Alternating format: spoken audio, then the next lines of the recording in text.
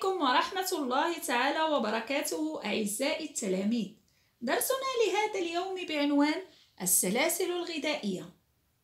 سبق ورأينا في موضوع الطبيعة بأن الوسط البيئي يختلف حسب نوع الكائنات الحية التي تعيش فيه.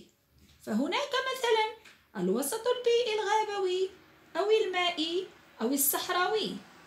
وإذا نظرنا إلى الوسط الغابوي نجد أنه يتكون من مكونات حية وهي مجموع النباتات والحيوانات والكائنات الدقيقة التي تعيش في التربة ومكونات غير حية كالمياه والهواء والتربة. لاحظوا الصورة أمامكم. هي صور لبعض الكائنات الحية التي تعيش في نفس الوسط وتربط بينهم علاقات مختلفة. إذا ما طبيعة العلاقة بين هذه الكائنات؟ لنتأمل الصورتين لاحظ هنا معي نبات البلوط من يتغذى عليه؟ يتغذى على البلوط طائر القرقب ومن يتغذى على القرقب؟ يتغذى على القرقب الكاسر إذا نوع العلاقة بين هذه الكائنات الحية هي علاقة غذائية. ولتوضيح هذه العلاقة أكثر أدعوكم لاكتشاف أنشطة للاستثمار. السؤال الأول. أربط الكائنات الثلاثة بدوائر تتقاطع. إذا خذوا قلم لاحظوا نربط الكائنات هكذا بدوائر. وبوضع كل كائن وسط دائرة نحصل على الشكل التالي.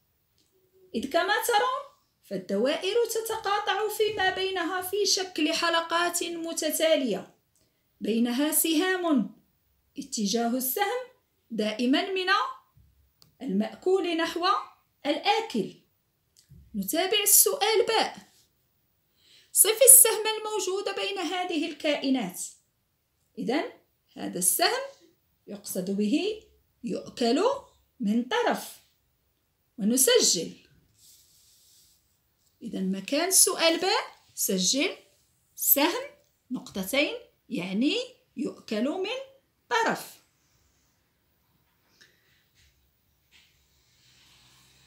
جيم. صف العلاقة التي حصلت عليها بعد رسم الدوائر. إذا بعد رسم الدوائر حصلنا على علاقة غذائية وتسمى السلسلة الغذائية. ونسجل في مكان جيم. علاقة غذائية تسمى سلسلة غذائية.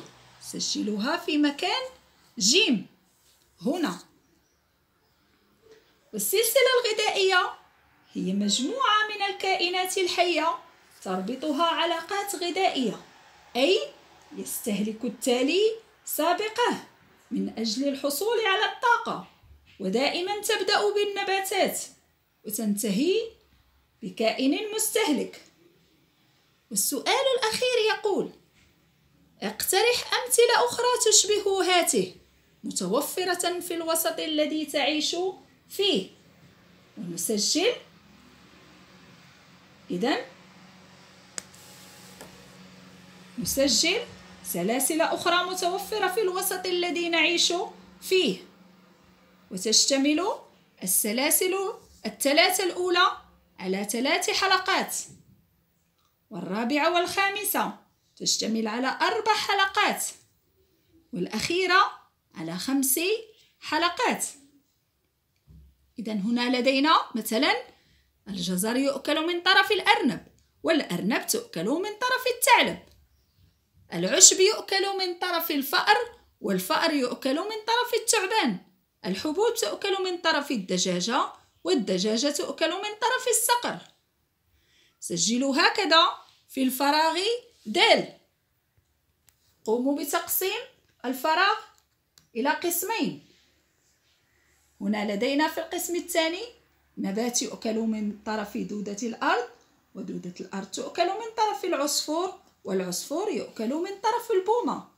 أوراق الأشجار تؤكل من طرف اليرقة اليرقة تؤكل من طرف الطائر والطائر يؤكل من طرف الصقر.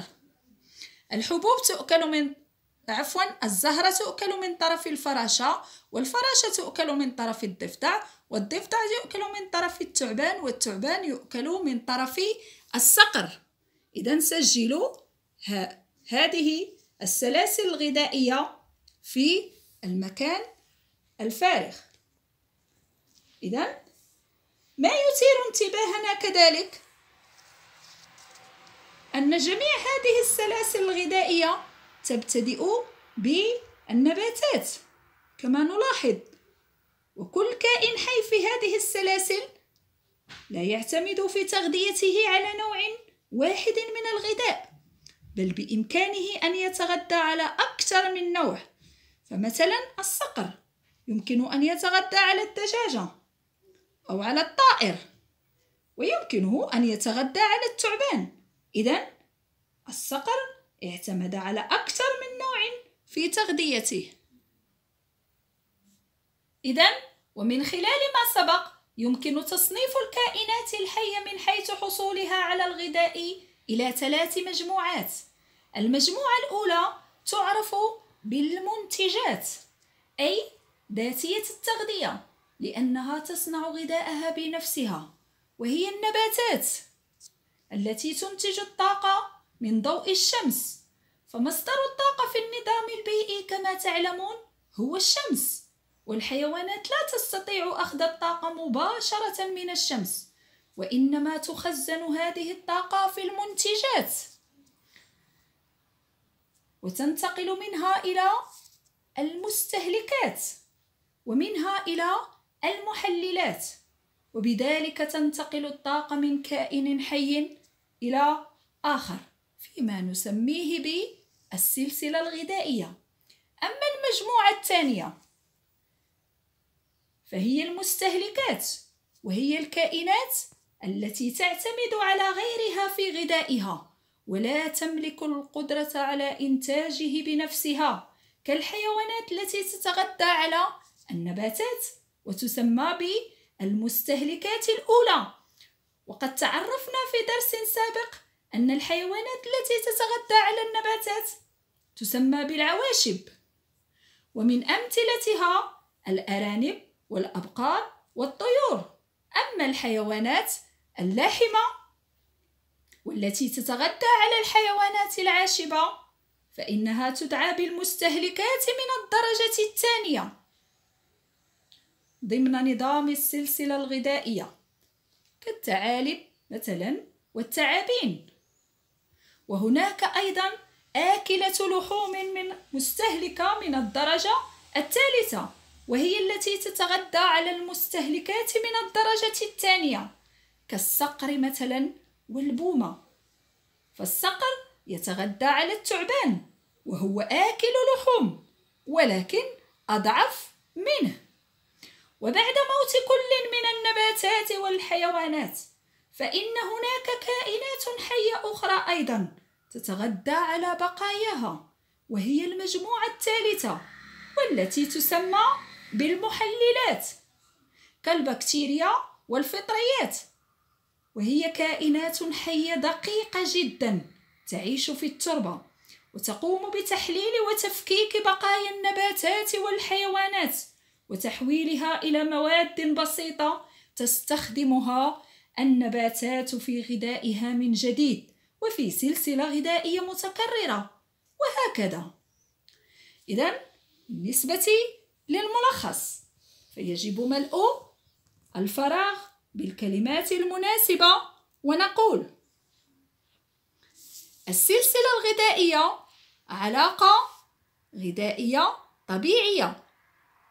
تربط عدة كائنات حية حيث يتم ربط الكائنات بعضها ببعض بسهام تدل على يؤكل من طرف.